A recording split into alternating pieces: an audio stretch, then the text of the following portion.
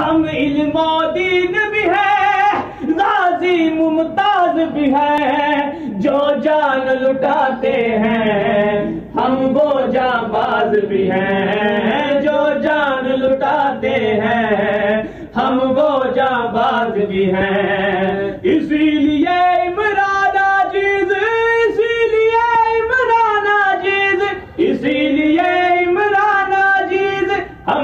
है बेसायों का साया। देखो देखो कौन आया? मोहम्मद अरबी का दीन आया। दीन आया दीन आया। मोहम्मद अरबी का दीन आया। लब्बैक लब्बैक लब्बैक या रसूल अल्लाह लब्बैक लब्बैक लब्बैक या रसूल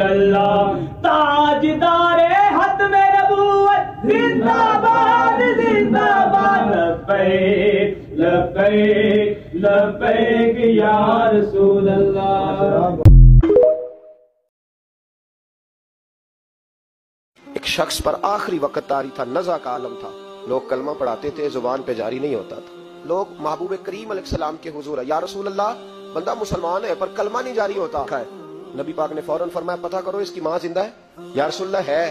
फरमाया बुलाओ फरमाया तेरा बेटा है। तो माँ ने मुस्तफ़ा का चेहरा देखा तो रो पड़ी। कहने लगी हजूर, मेरा ही है। फरमाया, तू नाराज़ है? अम्मा कहने लगी, हजूर, बड़ी नाराज़ हूँ। इसने बड़े जुल्म किए, बड़ी ज्यादतियाँ की मेरे साबू फरमाने लगे, चल, माफ़ कर दे। तू माफ़ करेगी तो रूह निकलेगी। तू माफ़ करेगी तो कलमा तय्यबा जारी। करने लगी, हजूर, मैं कभी माफ़ नहीं करती।